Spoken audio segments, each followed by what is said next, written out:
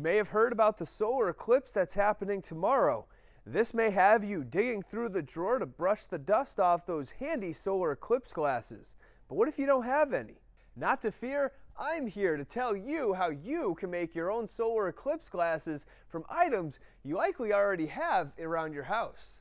But I'm at work, so I had to make a quick stop. You'll need a box of cereal, aluminum foil, a roll of tape, a pair of scissors, a pen, and a piece of paper. The first step is to use the pen and outline the bottom of the box and then cut it out. Next, you'll need to tape the paper to the bottom of the box where the sun will be projected onto.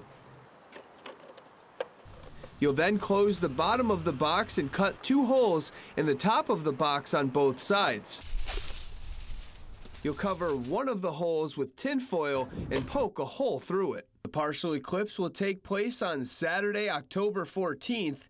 It will start at 12:21 p.m. Its maximum will occur at 1:25 p.m. and end at 2:30. While the eclipse is happening, you'll want to face away from the sun, point the pinhole towards the sun, and look through the open hole. You'll then be able to see the sun's projection on the bottom of the cereal box. This will not be a total solar eclipse here in Maine. Around 16% of the sun will be shaded. While we are expecting a good amount of clouds for the day Saturday, we are expecting some sunshine. In Portland, meteorologist Ryan Munn.